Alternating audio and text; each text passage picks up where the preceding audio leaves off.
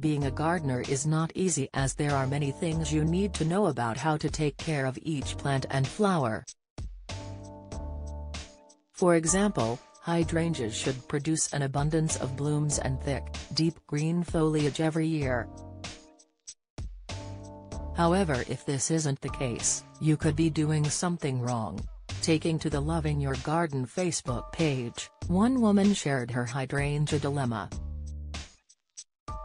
Sally Dean queried, My hydrangea is very tall and reaches my window. I used to make a mistake by pruning it in February and cutting it right down. I've recently read that you have to leave it after frost which I will do this year. Due to pruning it too early it stopped flowering as much as it used to. What should I do? It's a mophead. Had it for years, and used to have so many flowers. Last couple years stopped flowering as much so I haven't touched it yet. Taking to the comments section one fellow hydrangea lover explained why her type of hydrangea shouldn't be pruned now and how she can get more and bigger flowers from her plant, reports The Express. Catherine Kevin Hughes explained, if you prune a hydrangea that flowers on old wood, like mophead hydrangeas, meaning these type flower on last season's growth, too far back you will lose flowers for a year. You prune just under the dead flower heads in spring with these types.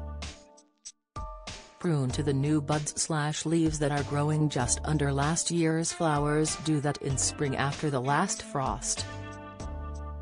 If you want one of them types to flower, just prune it right down low near the ground above growing buds in spring after the last frost, but you will lose flowers for a year till that new growth gets old enough to flower again.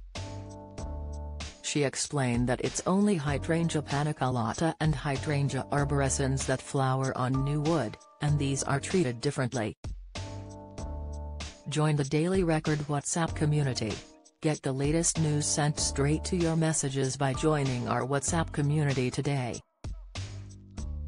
You'll receive daily updates on breaking news as well as the top headlines across Scotland. No one will be able to see who is signed up and no one can send messages except the Daily Record team. All you have to do is click here if you're on mobile, select join community and you're in.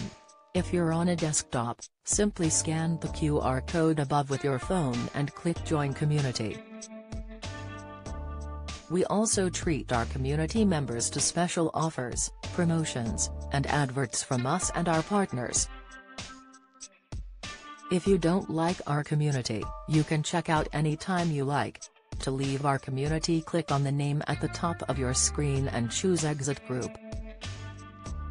If you're curious, you can read our privacy notice. Although the only essential work is to remove deadwood in spring, these species flower more prolifically when pruned back annually to a framework of branches.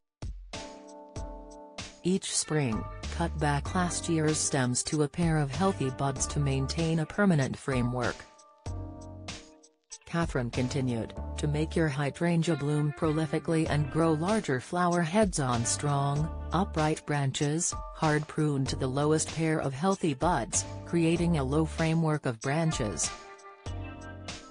This usually results in a pruned framework of no more than 25 cm, 10 inches, high but, if more height is required, cut to about 60 cm, 2 feet, tall.